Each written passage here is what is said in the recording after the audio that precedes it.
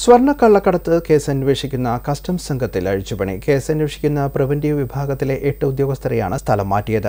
ആറ് സൂപ്രണ്ടുമാരെയും രണ്ട് ഇൻസ്പെക്ടർമാരെയുമാണ് കസ്റ്റംസിലേക്ക് തിരിച്ചു വിളിച്ചത് ഡെപ്യൂട്ടേഷൻ കാലാവധി കഴിഞ്ഞ പശ്ചാത്തലത്തിലാണ് ഉത്തരവെന്നാണ് വിശദീകരണം.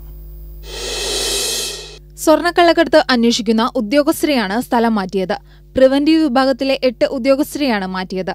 ആറ് സൂപ്രണ്ടുമാരെയും രണ്ട് ഇൻസ്പെക്ടർമാരെയും കസ്റ്റംസിലേക്ക് തിരിച്ചു വിളിച്ചു ഡെപ്യൂട്ടേഷൻ കാലാവധി കഴിഞ്ഞതിനാലാണ് ഉദ്യോഗസ്ഥരെ മാറ്റിയതെന്നാണ് വിശദീകരണം.